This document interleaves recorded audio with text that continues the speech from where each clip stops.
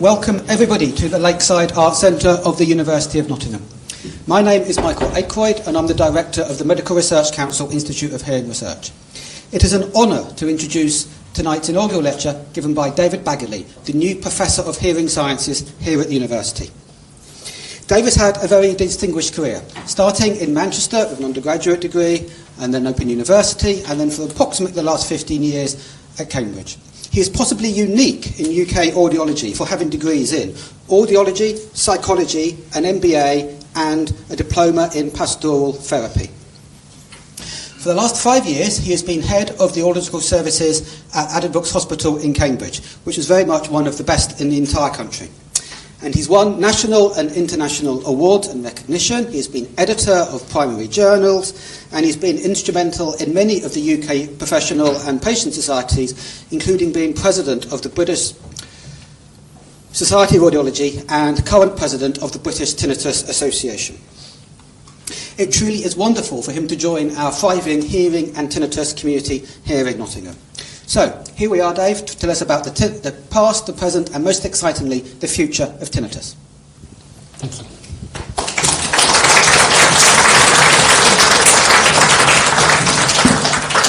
Thank you very much, everybody. Welcome, and thank you indeed for joining us this evening. It's a pleasure to be with you, and a pleasure to be here in Nottingham, amongst what Michael has said is an absolutely thriving community of scientists, clinicians, audiologists, and researchers looking at tinnitus amongst many other exciting things. But I've come to join them. And one of the reasons I have come to join them is that in Nottingham they occupy, we occupy, this translational space, taking ideas from the basic science laboratories, feeding them through, pushing them into the clinic, but importantly, feeding them back also so the questions that clinicians ask, that patients ask, set the agenda and the mindset of the basic scientists. So essentially, uh, a good two way flow of conversation there that I'm delighted to have become part of. But my core discipline is as an audiologist. This is a real t shirt you can buy on the internet, so you know what to buy your audiologist friends for Christmas. Are audiologists intelligent? Are they funny? Are they attractive? All of the above. But there are a couple of other things as well. They're fortunate, as very often they get to help people. And very often, the very best audiologists are compassionate. Sometimes people think audiology is a technology profession, taking hearing aids, prescribing them, cochlear implants, and giving them. Actually, what audiologists do is intervene in people's lives so that they live their lives to their full potential. So, uh, a profession fueled and powered by compassion. Now, I'm delighted here to see so many people uh, who I think have got a personal interest in tinnitus, and some people who've got a professional interest in tinnitus. So, it might be nice for you to see who each of you are. So, without putting anybody on the spot, if you have a personal interest in tinnitus, could you just raise your hand? Thank you. Lots of people. And I beg your pardon? If you have a professional interest in tinnitus, and if you have both, raise both hands. Yay. Okay, so you now know who you all are. Now, now I, I, I was determined that, that, that there would be a lay audience here. So thank you very much, people, for coming. It means my job is a little bit harder in that I need to provide things for you and for the science community. But let's work on that. And when I do your thing, let's be kind and tolerant. And when I do the science thing, let's be kind and tolerant too. And, and start that dialogue, because that's the translational dialogue too. So what we're going to do is to talk about definitions, about some past instances of thinking about tinnitus, to talk about tinnitus in the present day, to glimpse some of the future, maybe, perhaps. And then at the end, I'm going to close by talking about the particular research theme that I've chosen that's going full steam ahead, uh, very excitingly, for me at least, and to share some of those uh, new horizons with you. So, what of definitions. This is the first definition of tinnitus in the English language. It's actually the first time tinnitus was ever used, recorded in the English language, and it comes from a physician's dictionary in the late 1600s. At the time, tinnitus was either buzzing or a sensation and was thought to be an obstruction. And all sorts of trepanation or opening up operations were performed to try and release the trapped air from within the head or the ear of the person that was struggling. Here's the actual book itself. It's in the university library in Cambridge, and one of the librarians has tinnitus, was kind enough to get that for me. Those of you who have got very good eyesight will see one of my favourite things, which is tinnitus is right next to tickling. it's probably the only instance where tinnitus and tickling have been linked together. Maybe somebody in the world is looking at the link between the two, but I'm not sure I've heard of that anywhere else. But a more usual definition is from an, an American ENT doctor called McFadden, who suggested tinnitus is conscious, so you know that you're hearing it. It feels like a sound. It's involuntary, so you hear it whether you want to or not. It appears in the head. Well, maybe I'd question that.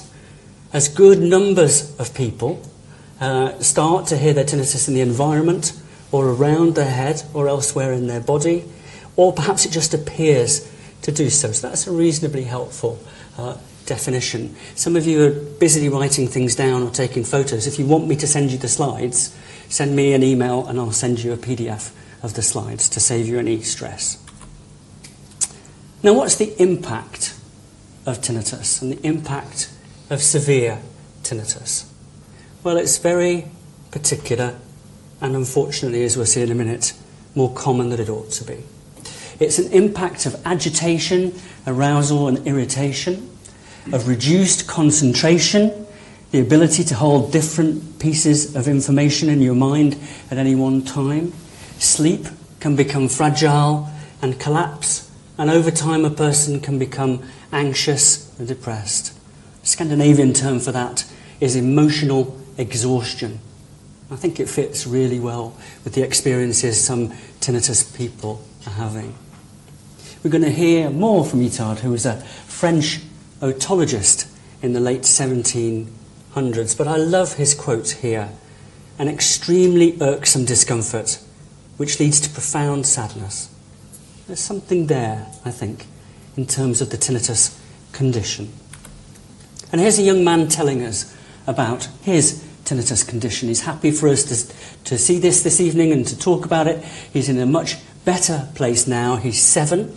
He has no hearing loss. He's not had a head injury. He's got no particular reason to have tinnitus. But you can see his tinnitus is like a hard band across his head. When I've seen children in the clinic, I very often get them to draw a picture of themselves to tell me, their parents, their teachers about their tinnitus situation. It's a very good way of articulating it. And what I can see here is that he's physically uncomfortable, and he's emotionally distressed. So that's a, an articulation there, I think, of the, the profound sadness. Now, what's the scale of the problem? Thankfully, we've got good data, and we've got good data that was first collected about uh, 200 yards from here in the Institute of Hearing Research by Professor Adrian Davis, who did an epidemiological study, so a population study of about 34,000 people with hearing experiences, and he asked them about tinnitus, he and his team, of which I was a member for a very short period of time. About a third of adults in the UK say they've had tinnitus at some time or other. About one in ten say, yep, that lasted more than five minutes, no particular reason for it. About one in 20, it really annoyed me. And who's been referred? Between 2 and 4% of adults. That's very variable. You're less commonly referred if you're in an area of deprivation. You're less commonly referred if there are no services around for you to be referred to. Common sense, but we know that information now, and that's a big argument for tinnitus services being available across the United Kingdom. Now, that's adults. What about children? Well, one of my PhD students just last year did a systematic review of what's known about tinnitus in children, uh, picking up every bit of published information that she could find. And she could find papers that said 7% of children have tinnitus, other papers that say 60% of children have some time or other. So a range that was too wide to be credible. And when she looked at why that was, it was because everybody used a different definition, different age ranges, some of whom went up to 19 years old, which is not a child in Cambridge, never mind Nottingham, and uh, all sorts of different methodological problems. So, too wide really to be credible. So, a study from Bristol that I was involved in looked at an interesting cohort. There are a group of children in Bristol who get tested medically, clinically, every couple of years. And in their 11th year, somebody put a hearing test and some questions about tinnitus and about hearing sensitivity and well-defined questions. Not perfect. So they were sitting on the data and we had a look at the data and found that 3% of those children had clinically significant tinnitus. That is, it was bothersome and it was persistent. So, 3%. One child in every primary school class in England, given that there are about 30 children and some interesting associations with mild hearing loss. We'll talk about hearing loss again in a few minutes, but some further work to be done there, I think. A mild and moderate hearing loss are a big research theme within the wider group that I'm part of. And Dr. Melanie Ferguson, who's here, is a leading light and a pioneer in that regard. Sticking with the tinnitus, many people experience more than one sound, and often tinnitus is highly complex, highly variable. Left sided tinnitus, for some reason, is more common than right. That's the case even when you factor out the fact that many people are right handed and hammer with their right hand and shoot from their right shoulder. There is something else going on there. Women are more likely to report tinnitus than men, but maybe they're just more sensible in talking about medical symptoms in general. The prevalence increases with age, but we've talked about children already, and increases with hearing loss, but in some complicated, subtle ways. Many people with hearing loss don't have tinnitus. Many people with quite mild hearing losses have severe tinnitus. So there's something complex there that we need to start to unravel. And unraveling is really one of the key things we need to do because everybody with tinnitus is different different in their experience, different in their type of tinnitus, different in their cause, different in the effects. And that's a real, that bedevils research. That's a real constraint to research in trying to get some really good answers to these very, very important questions. Now, what then of tinnitus in the past? What do we know? Well, the earliest reference to tinnitus that's known are in some cuneiform tablets from the library of ancient Babylon. There are six that mention ear disease, and one of them is extensively about tinnitus. This is not the actual tablet, it's an example of the type of tablet. Tinnitus at the time was thought to be one of two things. It was thought either to be warring insects in your ear, in which case you would infuse your ear with lotions and potions, or it was thought to be a spiritual affliction. And you would drive away the malevolent spirits by repeated whispered incantations. And if you look in research clinics at the moment and look at what people are doing, well, later we're going to be talking about infusing the ear with drugs. And we're going to be talking about the use of quiet, meditative sound to try and reduce the starkness of the tinnitus. Maybe we're not so very far away. And then Hippocrates. Hippocrates, of course, the father of modern medicine. Very interested in ear disease, seven mentions of tinnitus in his writing.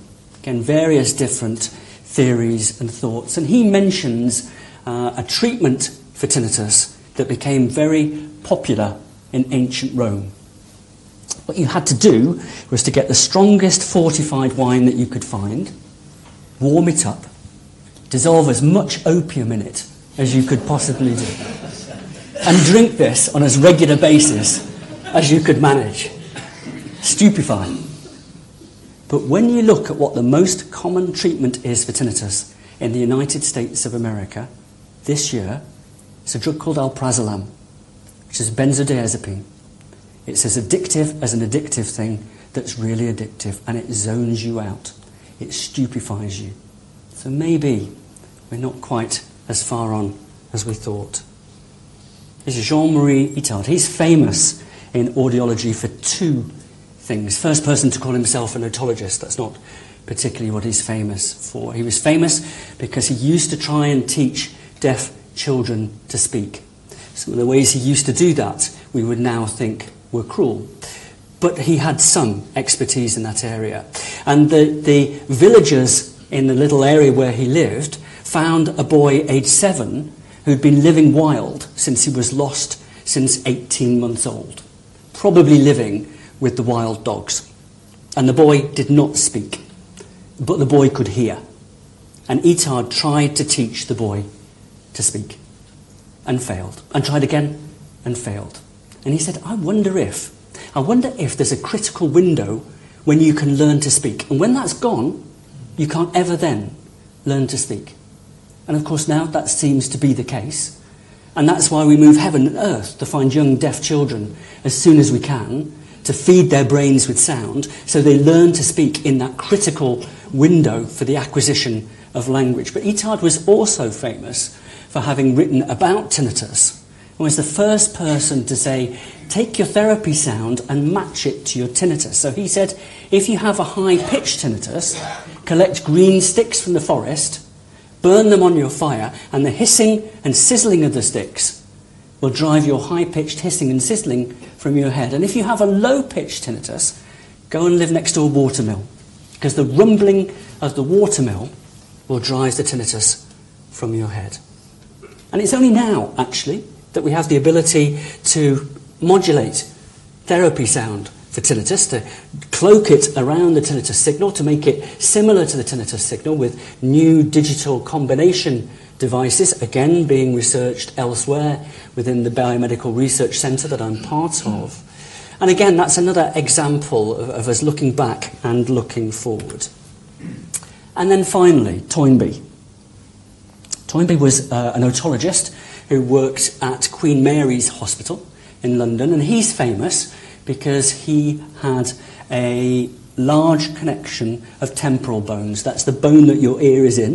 It's the hardest bone in your body, and he had a whole library of temporal bones from people with different conditions. Interestingly, he was also the uh, father of Arnold Toynbee, who is a famous social reformer. And Toynbee had terrible tinnitus and tried and tried to improve his situation. And eventually hit upon the idea one Saturday afternoon, I believe, of taking a mixture of ether and chloroform and breathing in as much of it as he could possibly manage, and he died. so a tinnitus martyr. But actually, anybody who's read the papers in the last couple of weeks we know that people still do die with tinnitus. And I'm not going to talk about that particular tragic case that was recently in a lot of the papers, but actually, maybe we're not so far on in terms of some of the things we know as well. Now, what then about tinnitus in the present day? What's our present understanding? And then I'll take us on to have a look at some future things. And firstly, our modern understanding of hearing wants to talk about why on earth we hear. Because for mammals, hearing is a very evolutionary expensive sense. It's difficult to develop, and uh, mammal bodies invest a lot of time and energy in hearing, so it must be doing something absolutely fundamental for survival. And the suggestion is that it's our early warning danger detection sense. The small mammals that fear the barn owl in the tree here have developed uh, with a, an evolutionary understanding that the barn owl is able to camouflage itself visually, but it's not able to camouflage itself acoustically.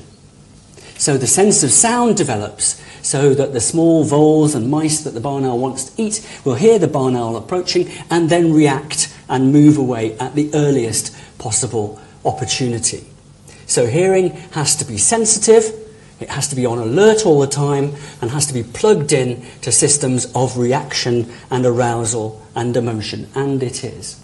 Now, some of you will know your auditory anatomy, that the area of great interest is the cochlea, transducing the vibration of sound into electrical nerve energy, with it having travelled down the ear canal and across the ossicular chain, those smallest bones in your body, in the middle ear. If we look inside The cochlea, here's a cochlea from the Kresge Institute in Ann Arbor, where all the bone has been dissected away from the cochlea. This is a left ear, so you can see the cottage bun appearance of the cochlea there, and the beautiful appearance of the vestibular labyrinth there, with the semicircular canals set orthogonally to each other to capture movement in any plane and to capture acceleration as well.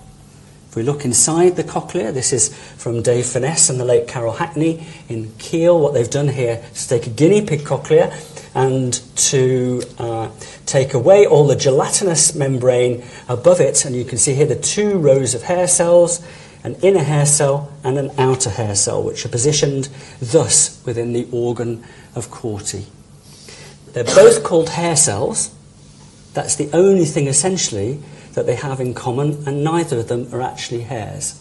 These are little nerve cells sensitive to sound stimulation, and the inner hair cells, which number 3,000, when stimulated, speak up to the brain and tell the brain that a sound is present, and each is tuned to a particular frequency. The outer hair cells, paradoxically, are much greater in number about 12,000, and their nerve supply comes from the brain to the ear. And they're the ears controlling, the brain's controlling hand on the ear, controlling the sensitivity of the ear, the frequency selectivity, and the discrimination of the ear. And the ear then, the cochlea, is then connected to the auditory brain, which is this beautiful cascading system of different junctions and relay stations, taking sound up until the point where in the auditory cortex you're recognizing it, interpreting it, analyzing it, and making sense of it.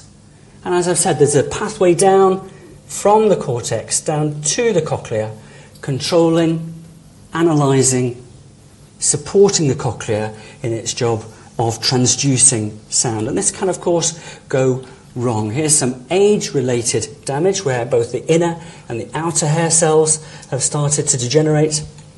And here's some noise-related damage, some normal outer hair cells there and some noise-affected outer hair cells there. You can see the devastating effect that the noise has had on the structure of the outer hair cells.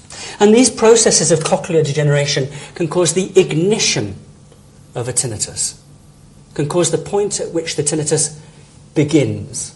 But an important distinction to say is then what is the mechanism of the tinnitus being perceived within the brain?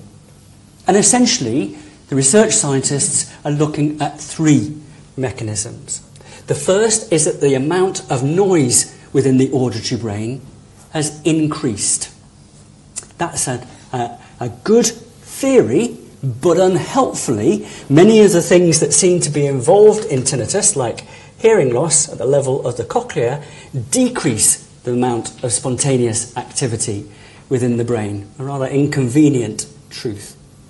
So, the further elaboration of that theory is perhaps the spontaneous activity is not increased necessarily, but perhaps it's become more synchronized. It's more in step with each other. The, the metaphor is of some squaddies walking to the pub on a Friday night, and they're walking as a rabble, and within three or four steps, they're walking in step with each other. Or all the lovely people who walked on the Millennium Bridge in London. Do you remember the bridge? Walking at random, and before long they were walking in step with each other, and the bridge would resonate to the extent it would potentially throw a small child off the bridge into the Thames. Bad idea. So, current thinking of tinnitus is thinking perhaps the auditory system has somehow got in step with itself. It's correlating its activity, so the brain thinks that must be sound.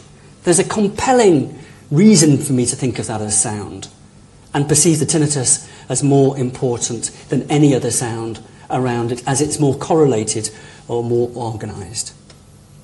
And then a much more modern view is looking at networks within the brain. There's a group in Newcastle looking at this, some very innovative work, looking at how networks within the auditory system, but also extrinsic to that or outside that, are holding the tinnitus, promoting the tinnitus, remembering the tinnitus.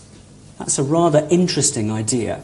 As I, when I've worked clinically, I had many patients who would say, when I wake in the morning, I'm not sure it's there. And then I listen for it, and there it is again, as if the brain was somehow remembering and maintaining the tinnitus. But what are the upset? What are the paradoxical sadness that we talked about? Well, here's the modern understanding of that. The suggestion of the electrical activity in the ear or the auditory nerve, perhaps increased, perhaps correlated, perhaps promoted by networks, but that filters, filters that should be blocking that, should be stopping that in its tracks, let it in, and once it's in, the build up anxiety, fear, and dismay, the persistent awareness of it, and the increase in autonomic or automatic nervous system arousal. Your autonomic nervous system does rest and digest or fight or flight. If you're the member of an audience at an inaugural lecture and you had a glass of nice wine and you ate something nice, you're resting and digesting. If you're the poor benighted fool who's got to give the lecture, you're fight or flight. So, those things are held in balance with each other. But in tinnitus, it's that increase in the agitation and arousal. And the thought, of course, is that these things are not separate, but are speaking to each other, and to each other, and to each other, building up a self reinforcing, persistent loop that people can get stuck in. And our hope is that we can take them back to a point of habituation. That process by which you become aware, you become unaware of sensory stimuli. When you came out to listen to me this afternoon, you put your shoes on and you felt the shoe on your right foot and you haven't felt it since. But the nerve firing is still there. Or people who live next to the A52. I've had to learn some local examples of this. How do you live here? We don't hear it. You're a liar. We don't hear it. They've habituated to it. Or fireworks night. You hear the first few fireworks, you look out of the window. Half an hour later, the council can do what they like. You're not interested. Your brain doesn't register it. Does this happen with tinnitus? Often, yes. Not always. Is it possible to help it happen in tinnitus? Often, yes. Not always. So, what can a person do to move in that direction? Firstly, get some decent information and get some information rather than myth. There are ways of doing that. The British Tinnitus Association is an excellent source of information. I'm going to be giving you their details at the end. And this little book is, is uh, an attempt to try and give concentrated information for people in trouble. So that's there for you, and that's widely available. Get an informed and positive medical opinion. And if your doctor isn't informed and isn't positive, change your doctor. Sound enrichment means avoiding silence. The tinnitus will be stark and clear in a quiet environment. So have some sound around you, a fan, hearing aids if you have hearing loss. We'll talk about that in just a second. And to reduce your agitation and reaction, many, many simple techniques of either relaxation or mindfulness meditation. The two are different, quite distinct. Both of them have got very high value for tinnitus. And if you're having trouble sleeping with your tinnitus, the British Tinnitus Association have got a very, very good leaflet on something called sleep hygiene that we don't have time to get to today. But we can't switch it off. Often we can reduce impact, improve sleep, sometimes improve concentration, reduce distress, reduce awareness. Now, what are the techniques that are used in the clinic? Some of the clinicians from Ropewalk House and Queen's Medical are here just now. Bedside sound generators that use the sound of the rain and the ocean by the bed or in the pillow, blending with the tinnitus rather than masking it. Hearing aids for hearing loss, and there are now combination devices that include hearing aid circuits and sound generators, again to blend with the tinnitus. Very new. So new, we're not quite sure how to fit them, we're not quite sure who will benefit from them. Again, really good research planned in that area, but an area where things are developing. And then the psychology community have stepped up to the mark and are talking about using cognitive behaviour therapy for tinnitus. Their argument is that your beliefs about something affects how you perceive it and how you behave. They ask us to imagine somebody standing on a busy tube platform in London, and let's say it's a bit of an unpleasant part of London. And suddenly you feel a poke in the small of your back. How are you all feeling about that? Not happy. Been imposed upon. Is there another one coming? Is there something bad going to happen? And you turn around, and the person who did it is a blind person who's inadvertently hit you with their stick or their umbrella. And how do you now feel? Foolish, compassionate, relieved. And the psychologists say, look, a poke in the back is a poke in the back is a poke in the back.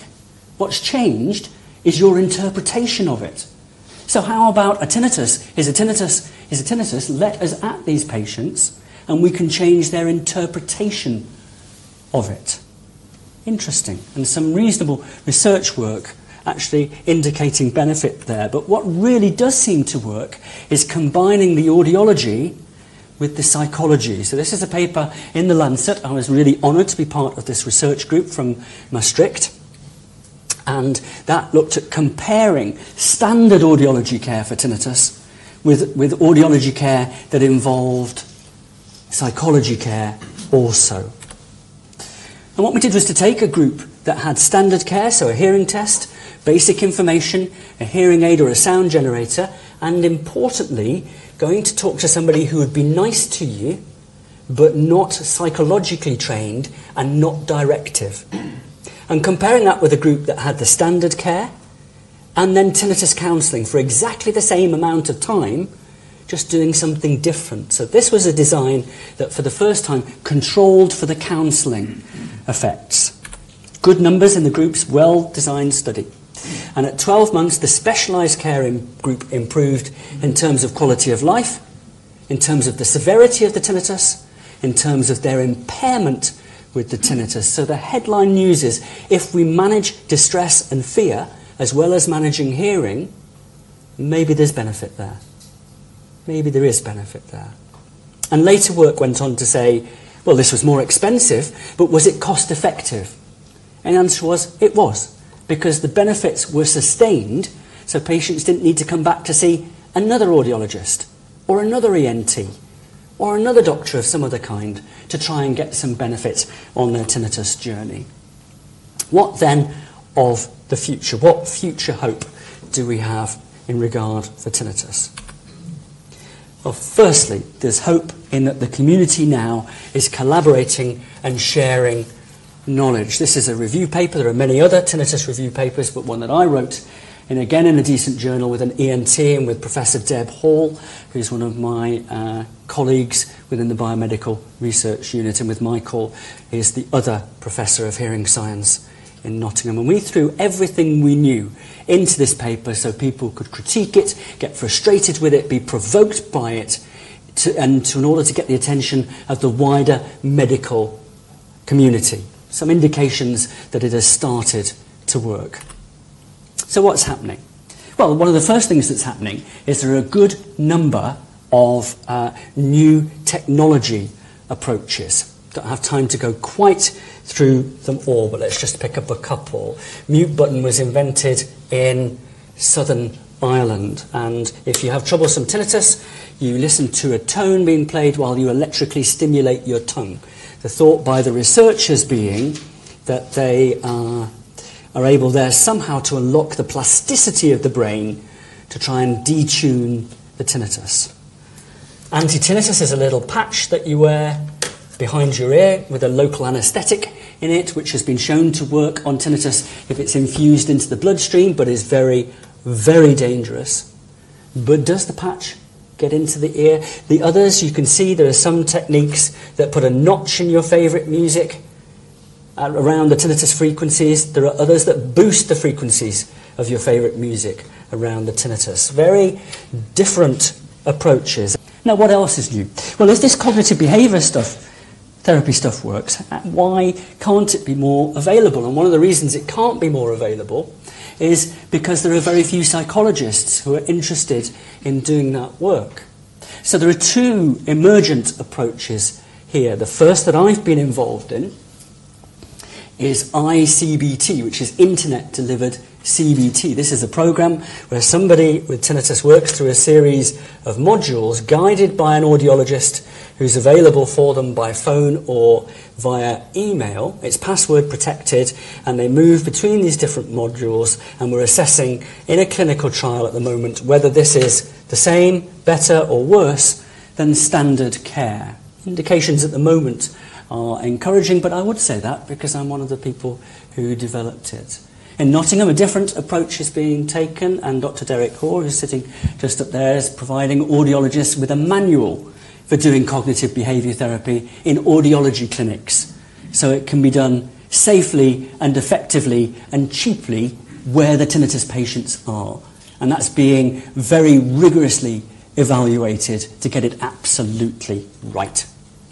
And drug trials are going on. In general, there are two approaches. One is infusing drugs within the ear, particularly in very new tinnitus. A drug recently was trialled which seemed to have some benefits for people with very severe tinnitus, and people with tinnitus due to infection didn't have benefit in the wider tinnitus population. Disappointing. And then another drug which looked at changing the way the brainstem responded to tinnitus, where the auditory nerve comes into the spinal cord and joins the brain. That was changing the way that potassium is used between nerve fibres to signal to each other. Again, disappointing, but real drugs in real people in real clinics. And I think getting the drug companies involved here is very, very important. Now, in my last few minutes of closing, let me tell you about the work that I'm particularly going to be doing, and then we can have time for some general discussion. And you know that cancer is immensely common around the world, but treatment is better than it has ever been. People with cancer are living longer, and more of them are living, and there are large numbers of them, and that's growing. Majority of them are adults.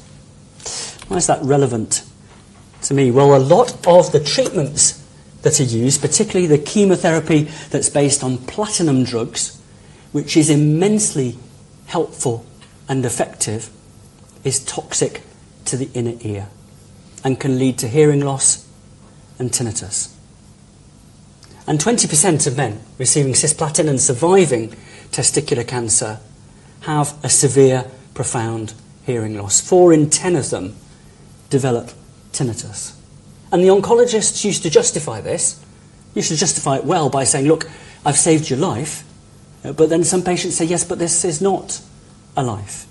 Or this is not a life with quality of life because of hearing loss and tinnitus. So there's a, a, clinical issue here to do with the way that these things are done. And in particular, the cisplatin, the most commonly used platinum ototoxicity, gives people a progressive bilateral, so both ears, high frequency hearing loss, causing difficulty hearing and noise, isolation, communication in people perhaps who are already burdened and the tinnitus that it can cause can lead to insomnia, agitation, and reduced mood in people who always already are carrying a burden of their cancer disease and treatment.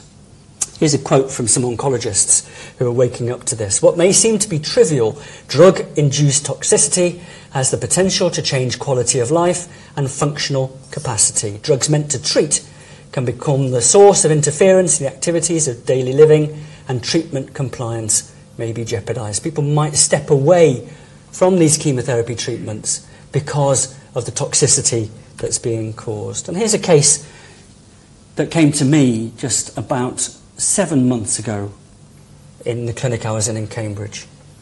Should I continue with my treatment, she asked. She was 24 relatively late stage ovarian cancer, planning a marriage, planning a house move, was awaiting round three of six chemotherapy treatments. she developed a high frequency hearing loss, so her inner ear was affected. That was mild, but what was not mild was the bilateral both ear tinnitus that she was having, causing her sleep to collapse, her mood to collapse. The marriage was on hold, the move was on hold, she wasn't working, and I'm prepared to stop my treatment because if this got any worse at all, I couldn't manage. Will it? Uh, uh will further treatment make it worse? And we don't know.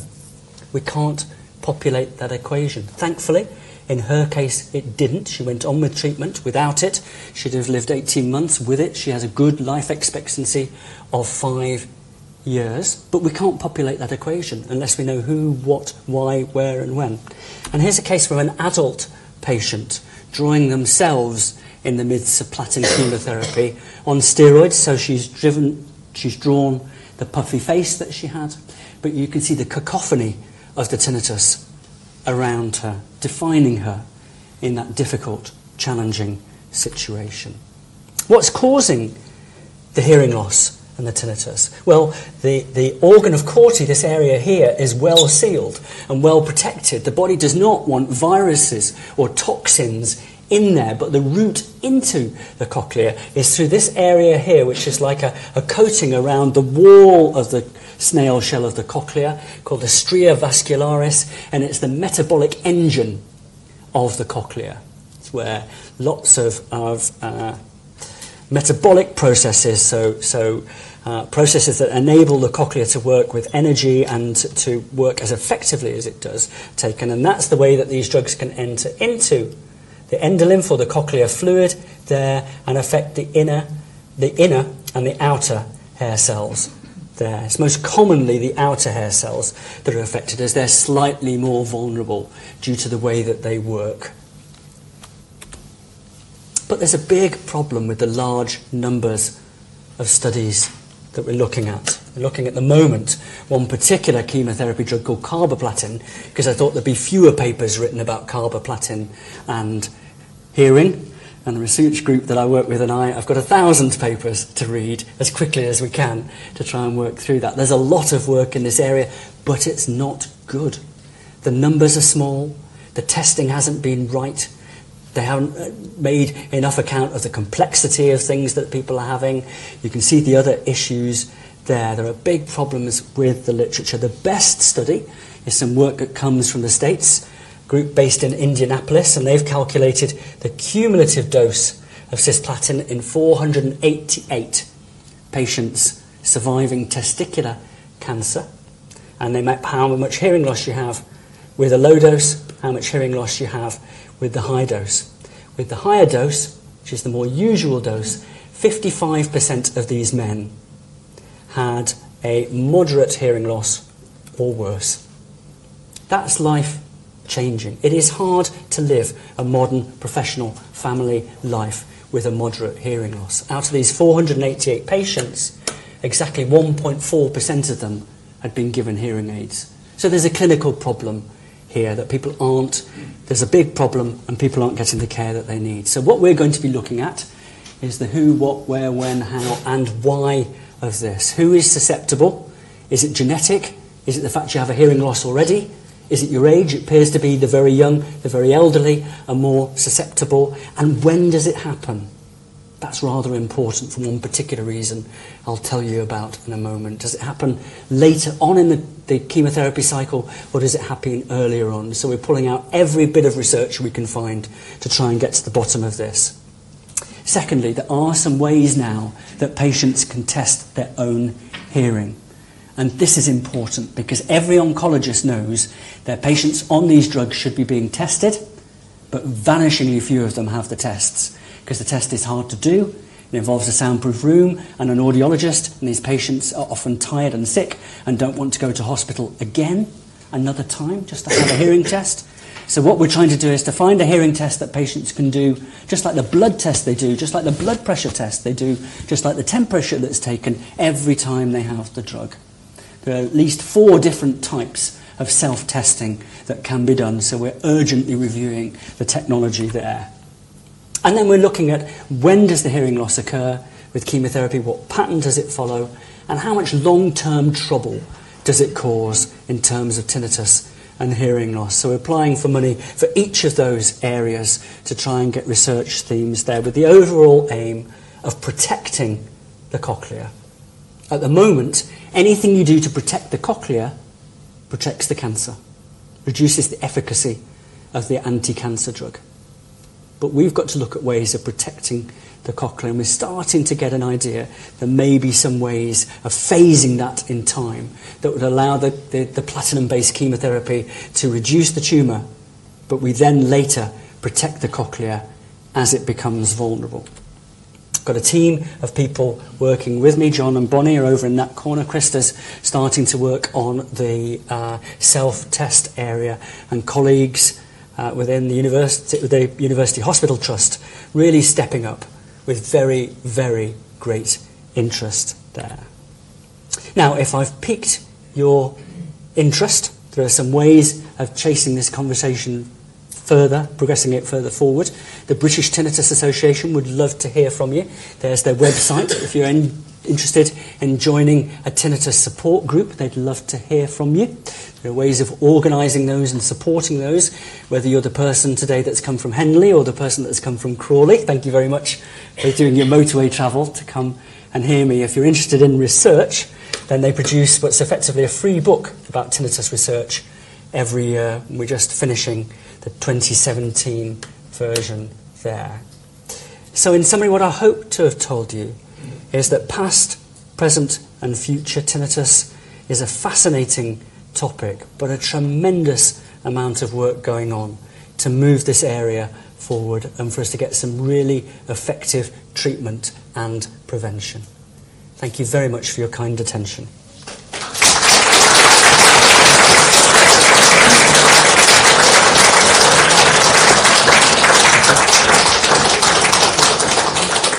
Now, we do have some time for questions.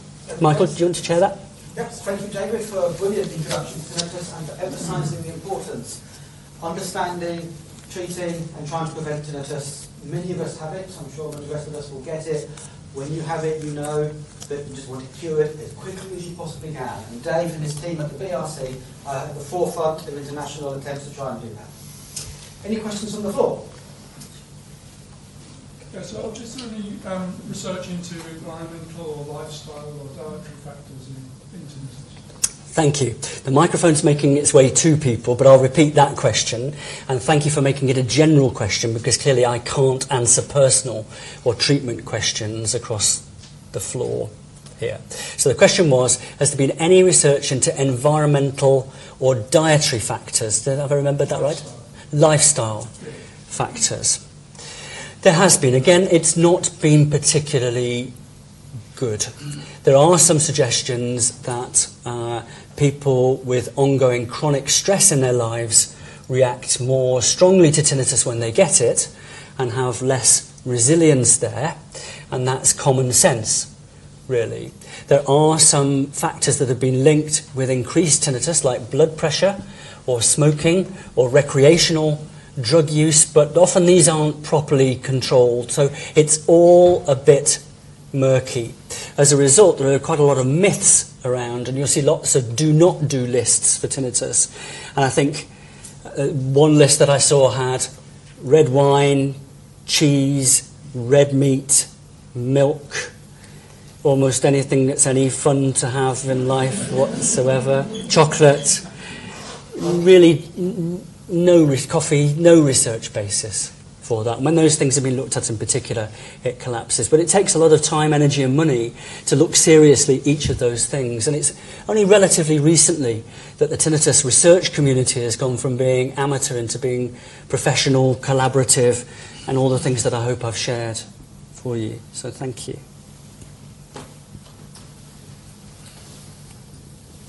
Yeah, the tinnitus I have, I have a constant droning in my head. It's completely separate to my hearing. I've had hearing tests, and the tests are fine. I've got no problem with that. You didn't really, what you went to, you, you associated everything there with the hearing, through the hearing.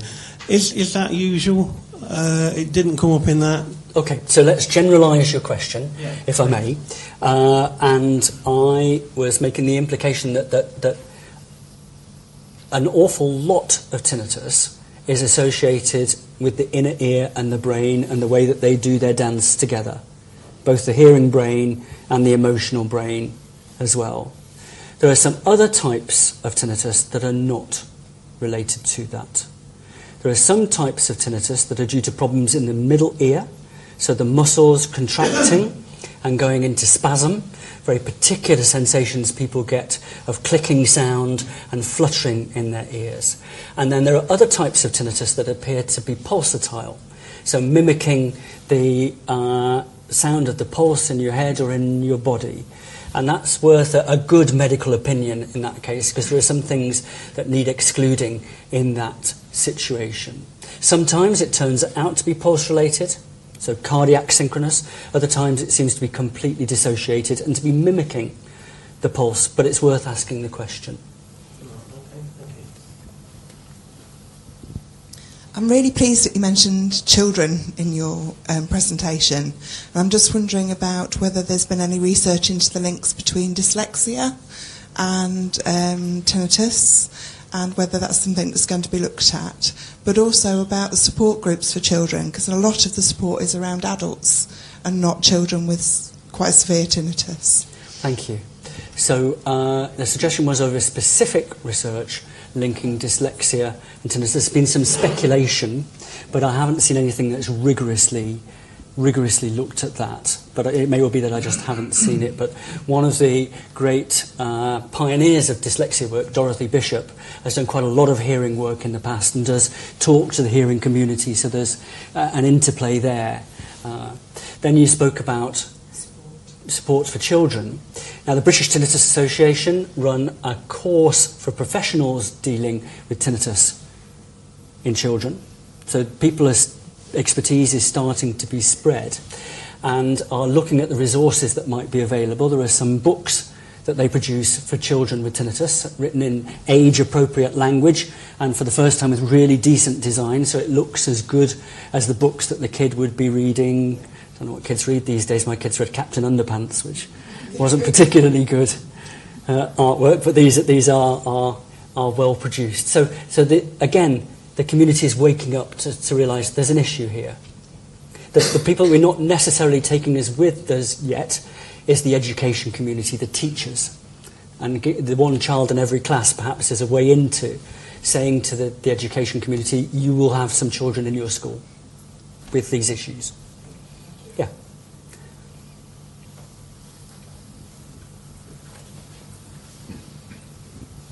You've mentioned uh, cancer and the treatment of it and its effect on tinnitus. And uh, I'm wondering what research uh, is there on uh, noise and as a cause of tinnitus when people are exposed to a lot of noise. Thank you. There's a tremendous amount of research into noise as a provocation for tinnitus, and some of it is good. One of the big areas of research at the moment is in the people who've been exposed to noise and think that they have got away with it because their hearing test hasn't changed.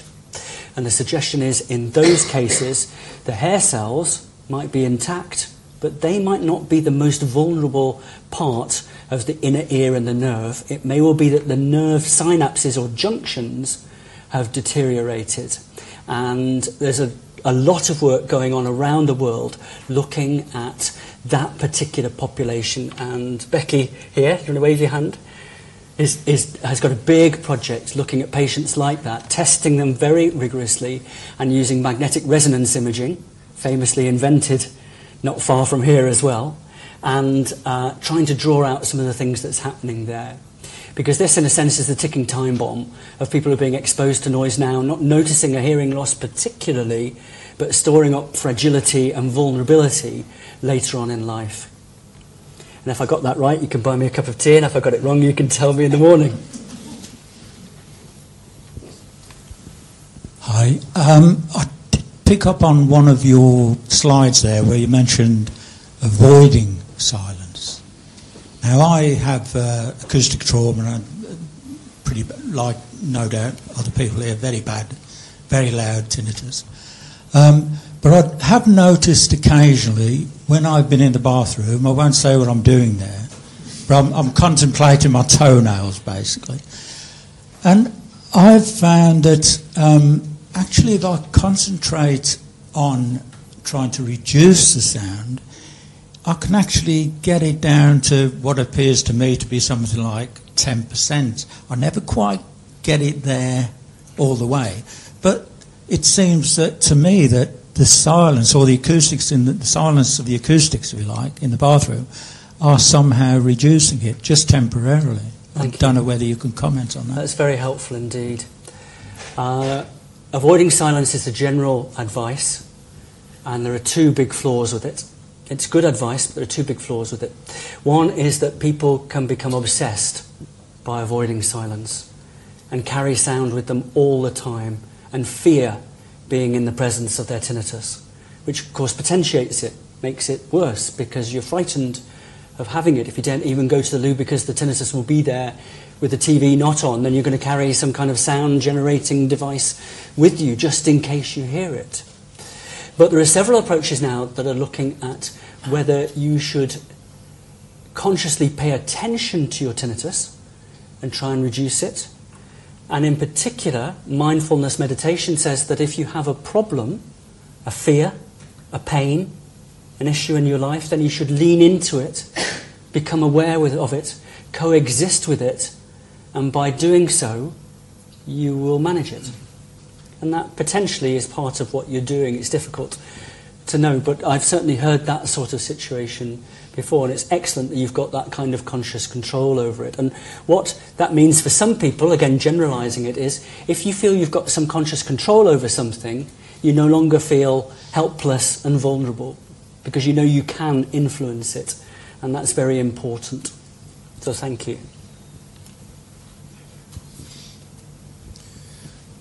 Hi. Uh, a few months ago, I think it was last summer, I went on a study at the Hearing Research Centre over the way there uh, and was fed a sound through headphones uh, that had been uh, sort of assembled over a period of time with, with test sounds. So, in effect, it was white noise. Had the uh, remarkable effect of removing the tinnitus, albeit for three or four seconds.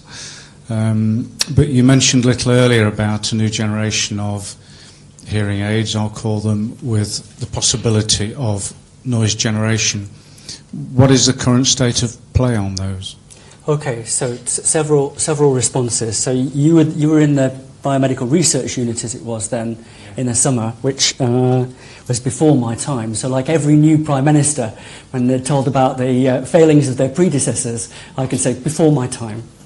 So, uh, but it, it sounds as though it's beneficial for you because you experienced something called residual inhibition.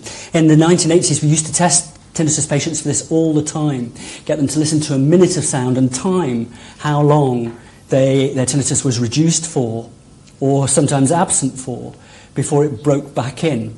And then this became really, really unfashionable, but it's become an area of interest again, and people are looking at that. So that's called residual inhibition. Now, you asked about the combination sound generators. The technologies are fantastic. We can shape sound, we can use sound. The latest devices, we can Bluetooth sound. They're not available on the health service quite yet, but they'll, be in time. And we can Bluetooth sound like the rain and the ocean into the devices, so the sound of your choice is with you.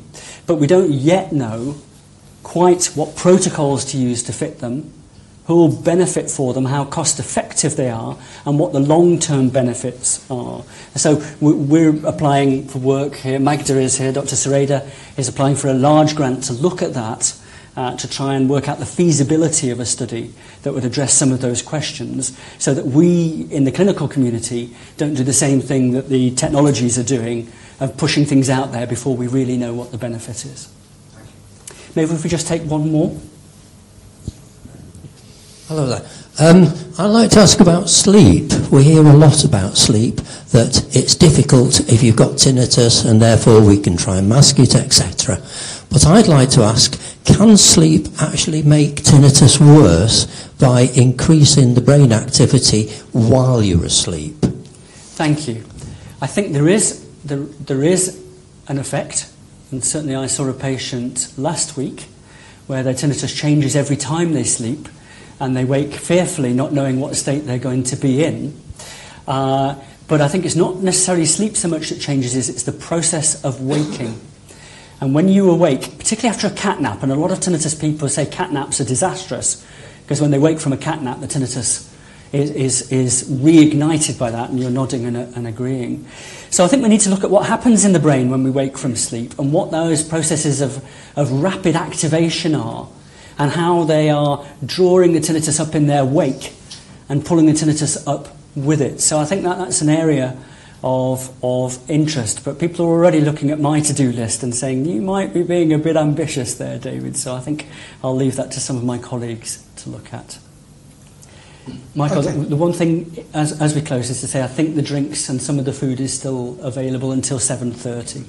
Okay, in that case, I will, I will ask the very last question quite, quite quickly. Dave, you said that clinical reports of tinnitus go back three and a half thousand years to the ancient Babylonians. What's your guess of us, us actually having to do something about tinnitus in the next five or ten years? Ah, you can always trust your friends to ask the most difficult question, can't you? Okay, you're off the Christmas list. Uh, when, when I started working with tinnitus, which was over 30 years ago, I used to go to lectures that said, in five years we'll have cracked this.